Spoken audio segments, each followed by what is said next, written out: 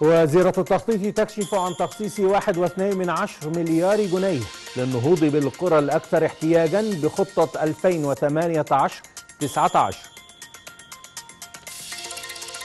الصين تعرض عن تفاؤلها بشأن المحادثات التجارية مع الولايات المتحدة. الاقتصاد الأمريكي يخلق عشرين ألف وظيفة فقط في فبراير في ظل انكماش للأجور وتباطؤ للاقتصاد.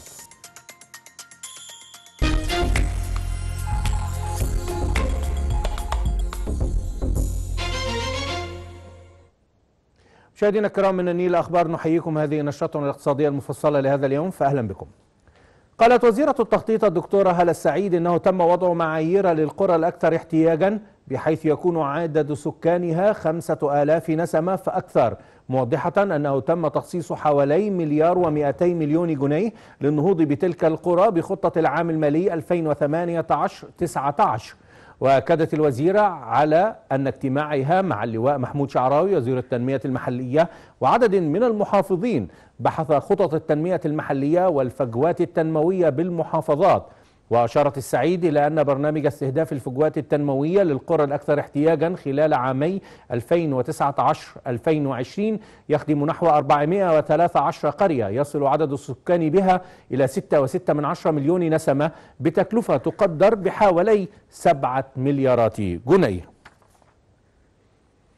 تفقد محافظ أسوان اللواء أحمد إبراهيم يرافقه وزراء الإسكان والمرافق والمجتمعات العمرانية الدكتور عاصم الجزار والتنمية المحلية اللواء محمود شعراوي والشباب والرياضة الدكتور أشرف صبحي. تفقدوا أعمال تطوير ورفع كفاءة طريق المطار الكورنيش استعدادا لمؤتمر الشباب العربي الإفريقي الذي تستضيفه مدينة أسوان السبت المقبل. وقال وزير الإسكان إن الطريق بطول 20 كيلو مترا مقسم على ثلاث قطاعات بداية من بوابة مطار أسوان ومرورا بطرق السادات ونهاية بكورنيش مدينة أسوان مشيرا إلى أنه من المقرر الانتهاء من جميع أعمال التطوير خلال أيام معدودة. قالت الدكتورة رانيا المشاط وزيرة السياحة إن استضافة مصر لبطولة كأس الأمم الإفريقية يونيو المقبل يعكس ثقة العالم في قدرة الدولة المصرية على استضافة وتنظيم الفعاليات الكبرى التي من شأنها أن تساهم في تنشيط السياحة إلى مصر بالإضافة إلى إلقاء الضوء على المدن السياحية المصرية. تصريحات المشاط جاءت على هامش مشاركتها في بورصة برلين السياحية. حيث أكدت أن خطة وزارة السياحة للترويج لمصر من خلال تنظيم البطولة الإفريقية حيث ستقوم بإعداد مواد ترويجية عن مصر لبثها قبل وأثناء البطولة. كما ستقوم باستخدام الملاعب التي ستقام بها المباريات لتكون منصات ترويجية لمصر.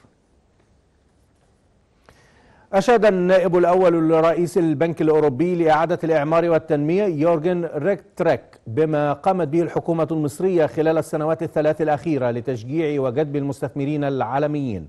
وأكد المسؤول الأوروبي أن مصر أصبحت من أكبر بلدان العالم التي يقوم البنك الأوروبي بالاستثمار فيها موضحا أنه خلال السنوات الست الأخيرة بلغ حجم استثمارات البنك نحو الخمسة مليارات يورو في مصر. قال نائب وزير التجارة الصيني وانغ شو ون إن بلاده والولايات المتحدة الأمريكية ما زالتا تعملان ليلا ونهارا للتوصل لاتفاق تجاري يحقق مصالح الجانبين وآمال العالم أيضا وأنه يرى, يرى أملا يلوح في الأفق.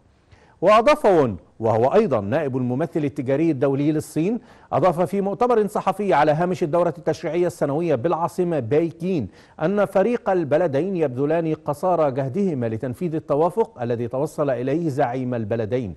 وتابع أن الفريقين أجريا ثلاث جولات من المشاورات على مدار أكثر من ثلاثة أشهر مؤكدا أن التوصل إلى اتفاق متبادل النفع ومربح للجانبين يصب في صالح البلدين كما أنه يتوافق مع تطلعات العالم.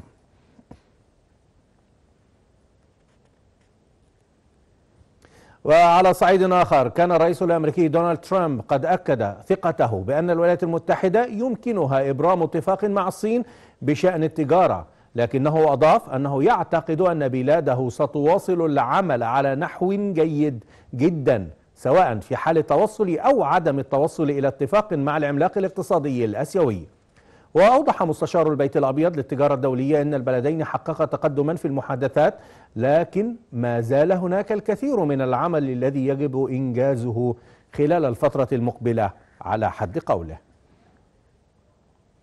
رفعت الأرجنتين سعر الفائدة القياسي بشكل حاد وهو ما ساعد في تعافي عملتها البيزو بعد أن سجلت مستوى قياسي منخفض أمام الدولار الأمريكي في الجلسة السابقة.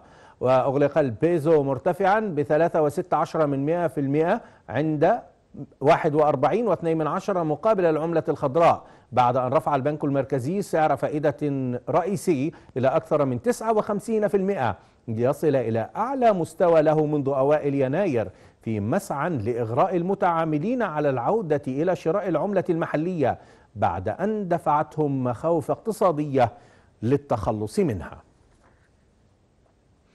وفي الولايات المتحدة الأمريكية توقف نمو الوظائف تقريبا في فبراير الماضي مع خلق الاقتصاد لعشرين ألف وظيفة فقط في ظل انكماش في الأجور بقطاع التشييد وبضعة قطاعات أخرى. وهو ما قد يثير المخاوف بشأن تباطؤ حاد في النشاط الاقتصادي الأمريكي. ويتماشى تواضع نمو الوظائف الذي جاء في تقرير وزارة العمل الأمريكية مع تباطؤ الاقتصاد الذي سيسجل في يوليو نموا مستمرا منذ عشر سنوات وهي أطول فترة نمو مسجلة للاقتصاد الأمريكي.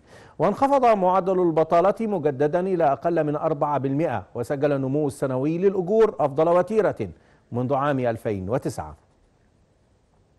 وفي ألمانيا أعلن مكتب الإحصاءات الاتحادي عن أن الطلبيات الصناعية هبطت على غير المتوقع في يناير في إشارة جديدة على أن أكبر اقتصاد بأوروبا بدأ بداية ضعيفة هذا العام.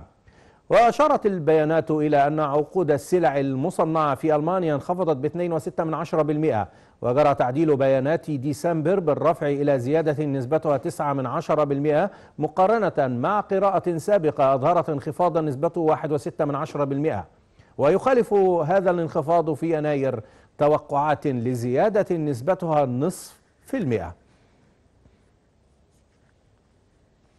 خفضت شركات الطاقة الأمريكية عدد حفارات النفط العاملة لثالث أسبوع على التوالي ليصل لأدنى مستوى في عشرة أشهر مع تنفيذ منتجين مستقلين خططا لخفض الإنفاق رغم أن شركات نفطية كبرى تخطط لمزيد من الإنفاق. وقالت شركة بيكر هيوز لخدمات الطاقة إن عدد حفارات النفط انخفض بمقدار تسعة حفارات الأسبوع الماضي ليتراجع إجمالي عدد الحفارات إلى 800 وأربعة وثلاثين حفارا وهو الأدنى منذ مايو الماضي. هذا وما زال عدد حفارات النفط النشطة بأمريكا. هو مؤشر أولي للإنتاج المستقبلي.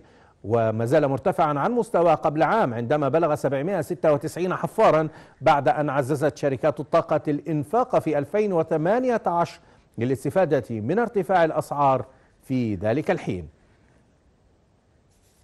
أما على صعيد أسواق النفط العالمية هبطت الأسعار بنحو 1% في ختام تعاملات الجمعة نهاية تداولات الأسبوع بعد بيانات مخيبة للآمال لنمو الوظائف في أمريكا جددت المخاوف بشأن تباطؤ الاقتصاد العالمي وتراجع الطلب أيضا على النفط.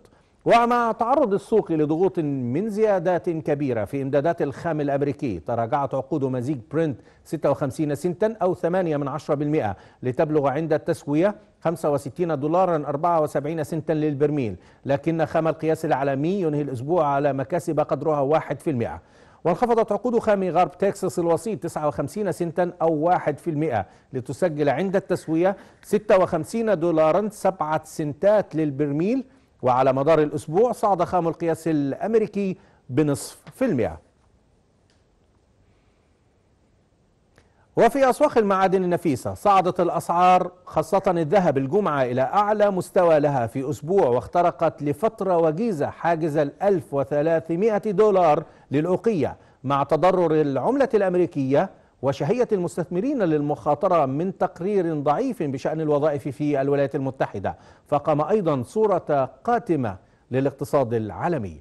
وارتفع سعر الذهب للبيع الفوري إلى واحد وستة من مئة في المئة إلى 1299 دولارا 6 سنتات للأوقية منهيا الأسبوع على زيادة قدرها 4 من عشرة في المئة.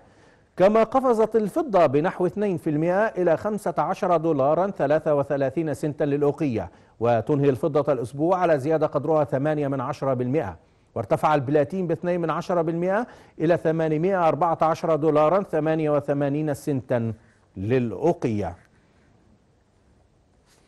أعلن بنك أوف أمريكا عن نزوح تدفقات بعشرة مليارات دولار من الأسهم خلال الأسبوع الماضي لتساهم في أسوأ بداية عام تسجلها التدفقات الخاصة بالأسهم منذ عام 2008 وأشار البنك الأمريكي إلى خروج تدفقات بنحو 80 مليار دولار من الأسواق المتقدمة بينما دخل ما يزيد قليلا عن 18 مليار دولار إلى الأسواق الناشئة.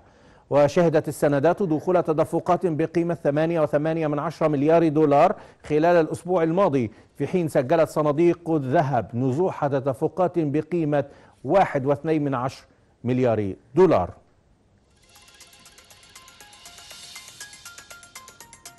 ومشاهدينا الكرام بهذا الخبر انتهت نشرتنا ونذكركم بأهم أخبارها.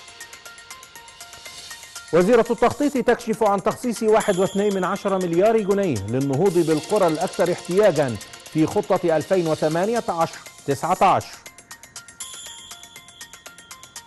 الصين تعرب عن تفاؤلها بشأن المحادثات التجارية مع الولايات المتحدة الأمريكية. والاقتصاد الأمريكي يخلق عشرين ألف وظيفة فقط في فبراير. في ظل انكماش للأجور وتباطؤ للاقتصاد. مشاهدينا الكرام كانت هذه نشرتنا الاقتصادية المفصلة لهذا اليوم. نشكركم دائما على حسن المتابعة. إلى اللقاء.